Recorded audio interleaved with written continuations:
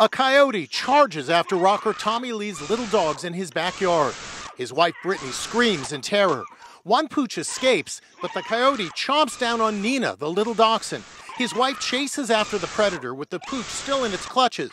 Tommy Lee rushes outside. Oh my god, a coyote grabbed Neena! We can't Oh my God. now. Fortunately, this scare has a happy ending. Brittany, who married Tommy five years ago, posted, I climbed up the wall and grabbed her out of its mouth. The coyote couldn't make it over the wall with her.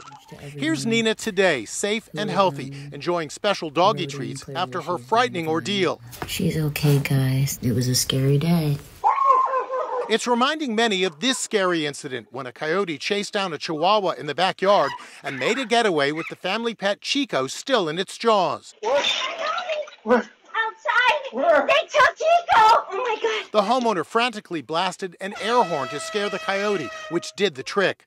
The coyote dropped the pet and Chico escaped. It happened just five miles away from Tommy Lee's home in Los Angeles.